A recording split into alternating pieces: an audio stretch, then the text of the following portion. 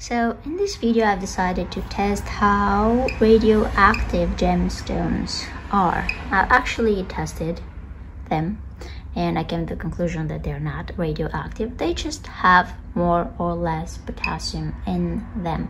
And when a gemstone has potassium, it shows like it has, mm, it is more radioactive, but the radioactivity drops so this is the background radioactivity and now I set this to zero and I'm measuring. Okay. 125 okay but according to the side that I'm using I measured different components on that side of the rock. So let's try here 500 250 so it has potassium on this side of the rock. Okay. Should I place it like this? Zero.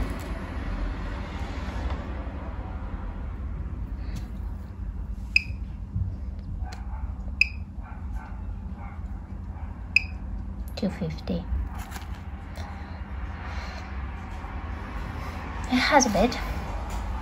187 see? It has a bit of potassium in it. Rose quartz. Let's place it like this. 250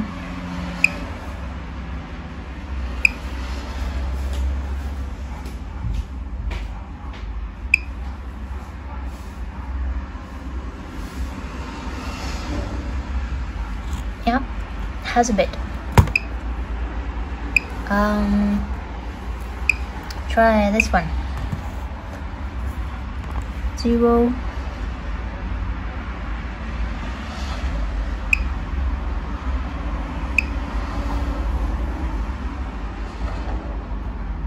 Two fifty. They're pretty much similar. um, let's try these ones you know the female and male rock.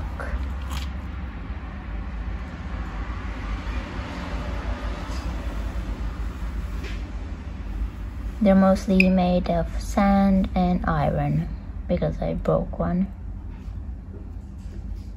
Come on. 62 okay so I guess they don't have any potassium. Oh and this is tourmaline zero.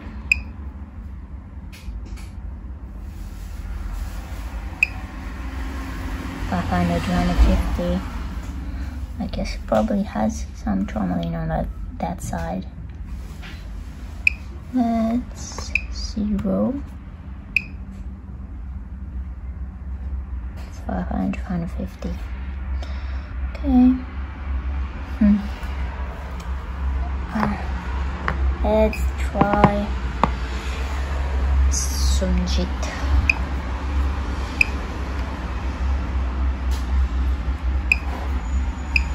Five hundred. So it has a bit of potassium.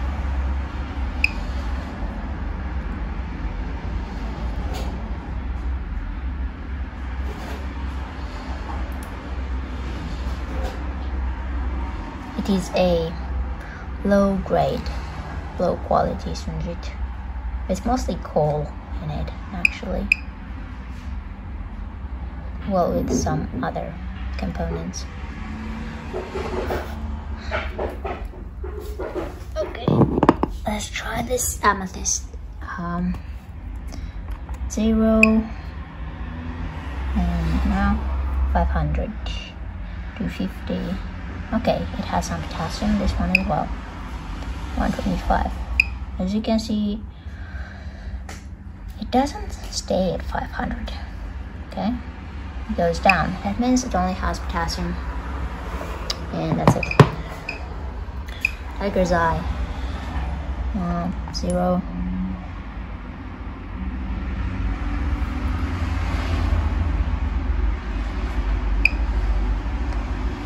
One twenty-five. Okay, so guess it doesn't have any potassium there.